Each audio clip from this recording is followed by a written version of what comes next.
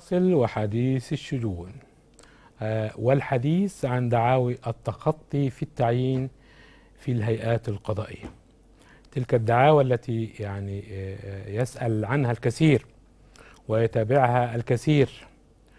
آه، ما بين آه، مترقب وما بين سائل وأسئلة كثيرة تجول بخاطركم الآن. وكل طبعا يبكي على آه، ليلى. آه، لكن آه، طالما في إنسان نفس بيتنفس لازم يكون عنده أمل إنه ربنا هيكرمه ويحقق له كل ما يصبو إليه. ما علينا إلا السعي وعلى الله قصد السبيل. ما تحط السيد الطاعن أو عزيز الطاعن أي اعتبارات في ذهنك إلا توفيق الله. ما نحن إلا أسباب نسعى ونجتهد ونتمنى أن نحصل لموكلين وعملاء مكتبنا على حقوقهم التي قد سلبها منهم آخرين بحق أو بغير حق. فنتحدث عن دعوة التخطي في التعيين في الهيئات القضائية منذ آه، بداية آه، آه، التظلم حتى تقديم الصيغة التنفيذية إلى الجهة القضية المعنية بالحكم. نتفق مبدئيا أنه إحنا عندنا الجهات القضائية الأربعة ثلاثة تختص بالمنازعات الخاصة بهما مجلس الدولة وواحدة تختص بنظر كافة الطعون الخاصة بها محكمة استئناف القاهرة. محكمة استئناف القاهرة تختص بالطعون الخاصة الخاصة بأعضاء النيابة العامة مجلس الدولة وتحديدا محكمة القضاء الإداري الدائرة الثانية على مستوى الجمهورية وليست المحافظات تختص بنظر الدعاوى الخاصة بالطعون قضايا قضايا هيئة قضايا الدولة النيابة الإدارية ثم مجلس الدولة. طيب من أين نبدأ وكيف تنتهي هذه الدعاوى وإجراءاتها؟ تبدأ هذه الدعاوى منذ تاريخ نشر قرار التعيين. إحنا من شهر شهر خمسة اللي فات صدر آه، آه، خمس قرارات بالتعيين في مجلس الدولة ثم النيابة الإدارية ثم هيئة قضايا الدولة دفعتي 16 آه، so- so- sorry 17 و 18 بالقرارات اللي حضراتكم عارفينها. طيب بداية الدعوى أول حاجة أنا كمحامي أو كطاعن بيتقدم لي أو يتصل بي ويتقدم لي بأوراقه أول حاجة أنا بعملها ألا وهي التظلم.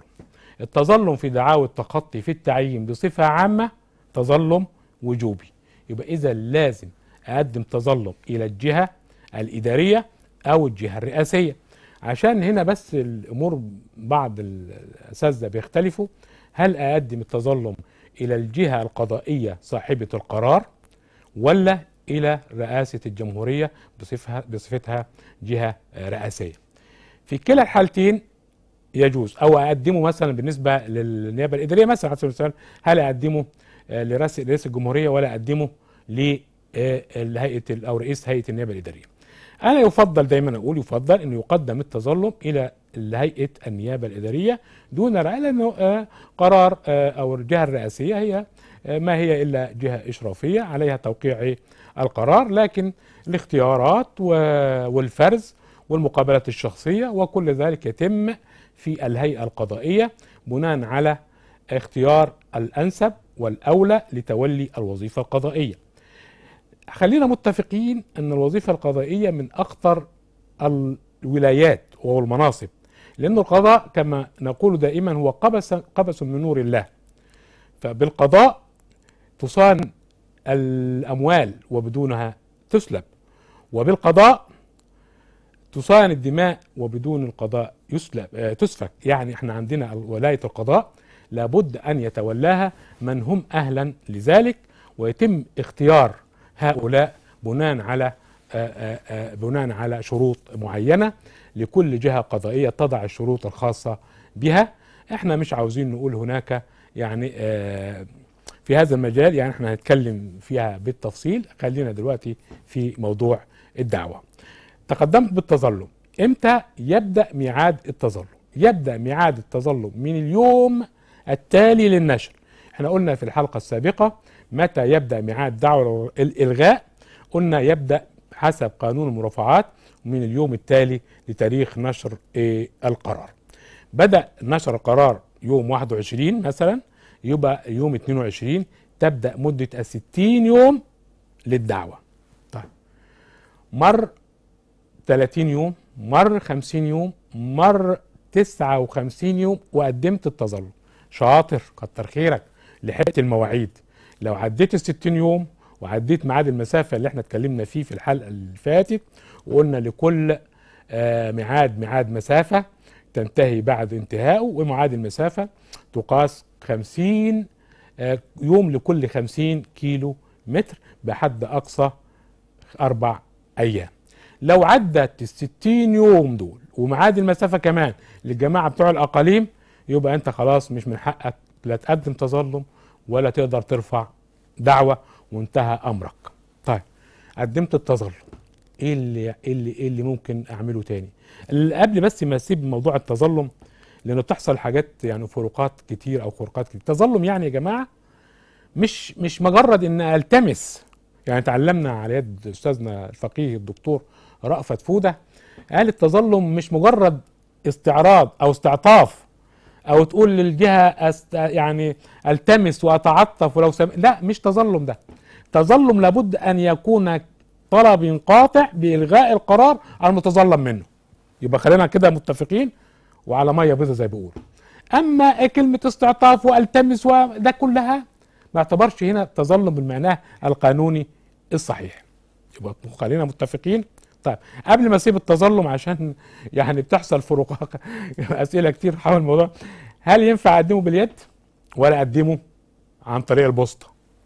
يجوز لا تقدمه باليد وده يفضل أو تقدمه لو أنت في مكان بعيد تفضل يف... ممكن تقدمه ب آه عن طريق البوسطة بعلم الوصول. لكن هنا لي... لنا وقفة بالنسبة للبوسطة وخاصة آه في بعض هيئه قضايا الدولة السنة دي يعني فتحت مشكورة آه موقع إلكتروني لتقديم التظلمات لأول سنة تفتح موقع إلكتروني لتقديم التظلم يعني هيئه قضاء الدولة اختصرت المسافة لا بوسطه ولا يد وكل التظلمات السنة دي دفعه 17 و 18 قدمت عن طريق الموقع الالكتروني لهيئة قضايا الدولة. النيابة الإدارية أو مجلس الدولة يجوز إنك أنت تقدمه باليد أو بالبريد. لكن لو هتقدمه بالبريد سيد الفاضل ما تجيش على آخر 3 4 5 أيام وتجري على البوسطه تروح تقدم تظلم. لأن ممكن يحصل أي عارض جوابك ما يوصلش. كتبت العنوان غلط. طب كتبت عنوان هيئة النيابة الإدارية مثلا وما كتبتش كلمة الأمانة العامة. في هذه الحالة ممكن أنا موظف البريد ممكن استلموش. لو ما استلمتش جوابك هيرتد ولو ارتد وانتهى الميعاد خلاص برضه فات عليك فاتت فاتت عليك المواعيد وبالتالي لا أنت مش لا هتعمل تظلم ولا هتقدر ترفع الطعن بتاعك. طيب خلاص استوفينا التظلم وقلنا إجراءاته وبدأت المفروض يعد عندي التظلم. هنا برضو قبل ما أسيب التظلم لأن أنا بحاول بقدر الإمكان أتذكر أنا ما عنديش ورق قدامي في أسئلتكم بس أنا من من تكرارها الكتير جدا شبه حفظتها يعني. لكن أنا بحاول أسترجع لو أنا نسيت حاجة بحاول أرجع لها.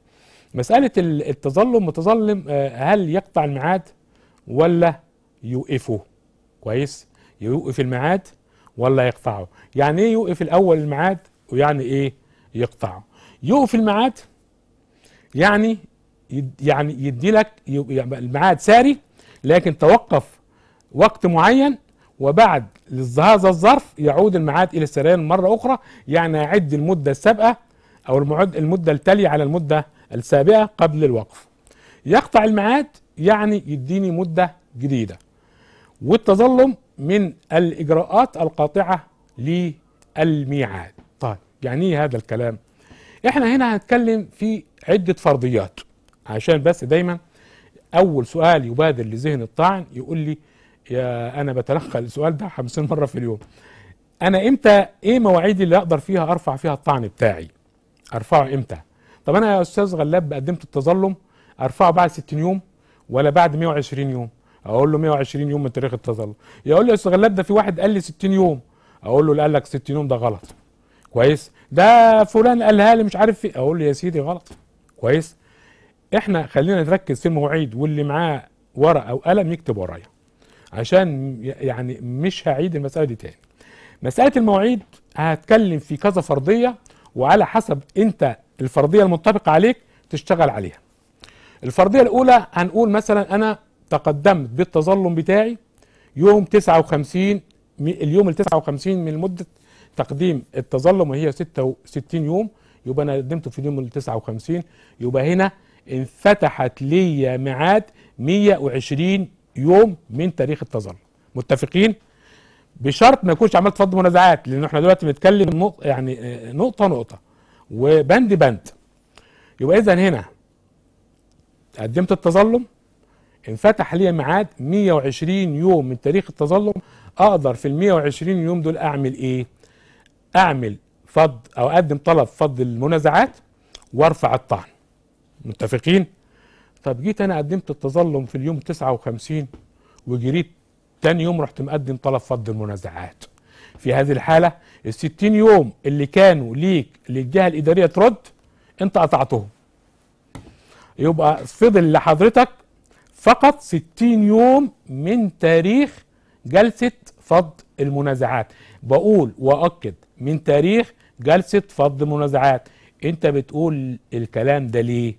لأنه في واحد يقول لك آه أنا المفروض بحسب 60 يوم من تاريخ استلامي للتوصية.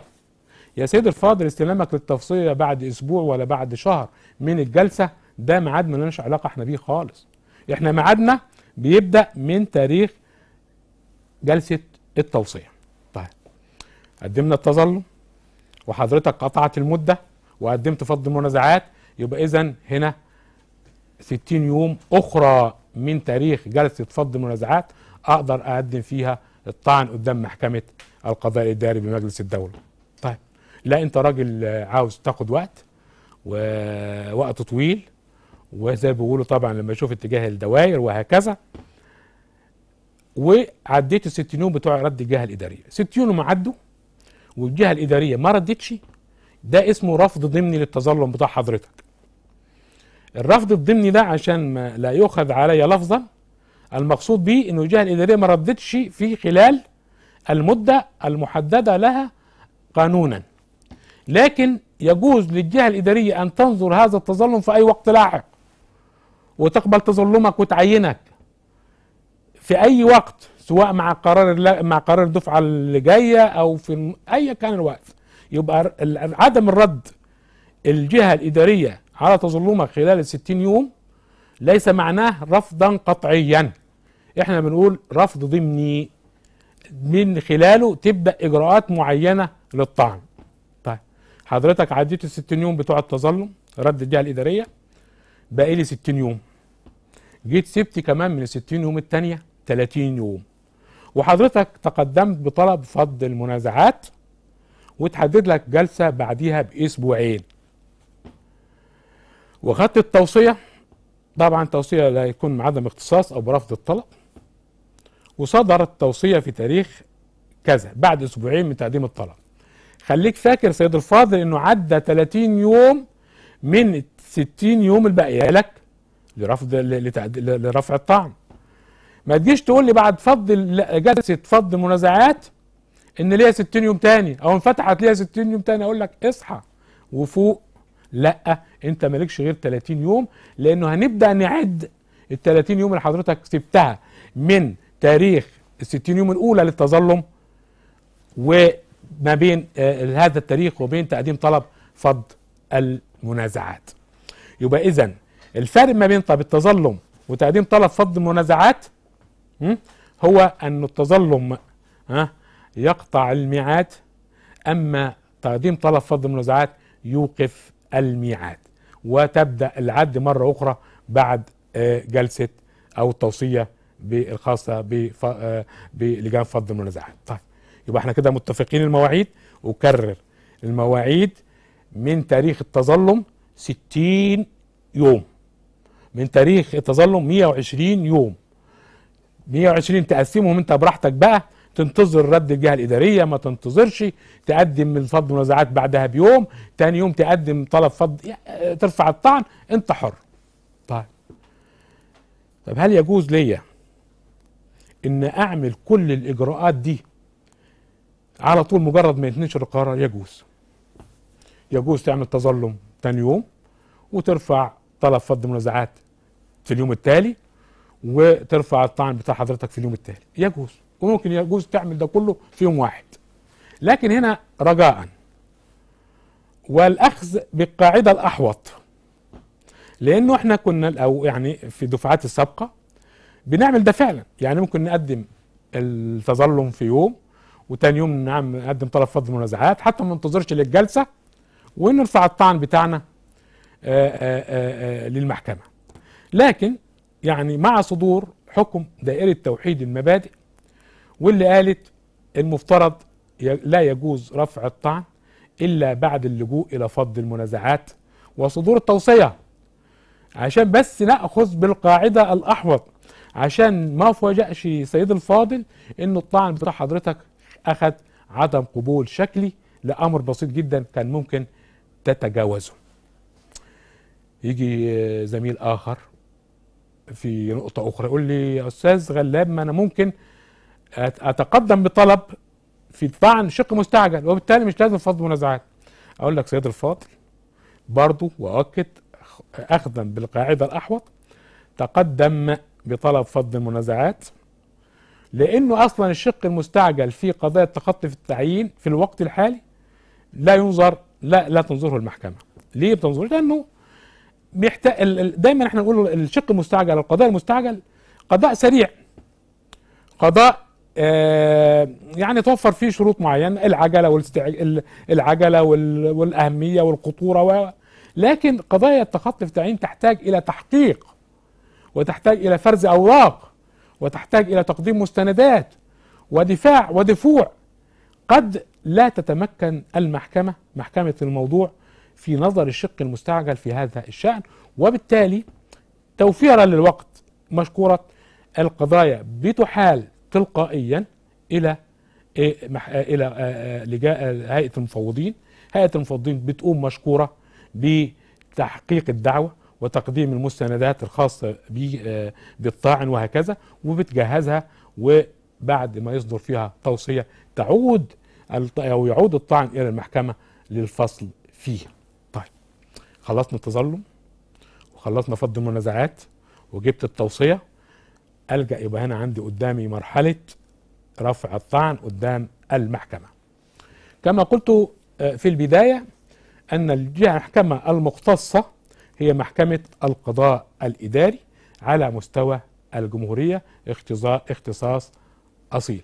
يعني ما تجيش يا فندم ترفع الدعوة أمام محكمة القضاء الإسكندري في دمنهور أو في قنا أو في إسكندرية وهكذا. يبقى المحكمة المختصة هي محكمة القضاء الإداري في القاهرة. حاجة تانية قبل ما أنسى ويعني بقيت حاجة مفترض يعني من المسلمات أنه أصبح دلوقتي كل الهيئات الثلاثة اختصاص محكمة القضاء الإداري. آآ آآ كما قلت محكمة القضاء الإداري. يبقى إذا المحكمة الإدارية العليا أصبحت جهة جهة هيئة هيئة طعن وليست أول درجة لأنه كان القضاء كانت الهيئات الأولى يعني بصفة عامة بتنظر تنظرها محكمة المحكمة الإدارية العليا كجهة وحيدة أو دائرة يعني. لكن إحنا دلوقتي بعد ما صدور حكم بعدم دستورية نصوص القوانين الخاصة باختصاص المحكمة الإدارية العليا فأصبح الاختصاص الأصيل لمحكمة القضاء الإداري. طيب متفقين؟ جهزت ورقي؟ جهزت صورة من القرار؟ جهزت التوكيل لو في محامي؟ جهزت الصحيفة وكتبت فيها ما يعن لك وكل طعن له ظروفه وكل طعن له كلماته وكل طعن له دفاعه. ما تجيش تطلع على الصفحة تاخد من الصفحة صحيفة طعن قد لا تتوافق مع ظروفك وقد لا تتوافق مع تقديرك وقد لا تتوافق مع الجامعة بتاعت حضرتك.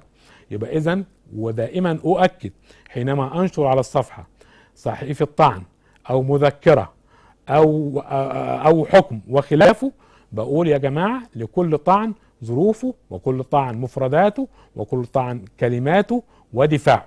خذ من الصحف ما شئت لكن خذ منها ما يتناف ما يتناسب مع مركزك القانوني.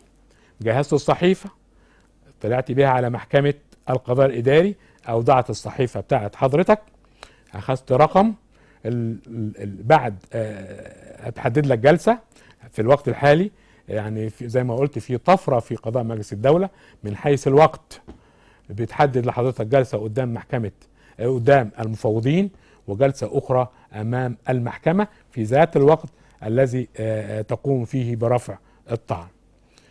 في يوم الجلسة بتاعة فض المنازعات اللي حضرتك المفروض اعلنت بيها مسبقا هيكون مع حضرتك أوراق الآتية. إيه الورق المطلوب؟ رقم واحد اولا الشهادة المؤقتة شهادة التخرج بيان درجات الماجستير إن وجد أو حضرتك حضرت رسالة الدكتوراه شهادة بالدكتوراه وثم صورة البطاقة وبتقدمهم أول جلسة في أمام هيئة المفوضين طب ما عندكش الأصول في ممكن يجوز لك انه أول جلسة تقدم الصور ألا إنه في الجلسة اللي بعديها تقدر تقدم الأصول؟ لأن الأصول مهمة. تيجي واحد يقول لي يعني الأصول مهمة في لا لا الأصول لأنه دي أوراق ثبوتية أوراق إثبات. لأنه ممكن ما يعني الجهه الإدارية تجحدها في أي مرحلة من مراحل الدعوة. فالأفضل تقدم الأصول الاوراق بتاعت حضرتك عشان ما تتعرضش للجحد في أي مرحلة من مراحل التقاضي. في أول جلسة هيئه المفوضين مشكورة بتصرح لحضرتك بالآتي. بتصرح لحضرتك تجيب التحريات الأمنية بتاعت حضرتك؟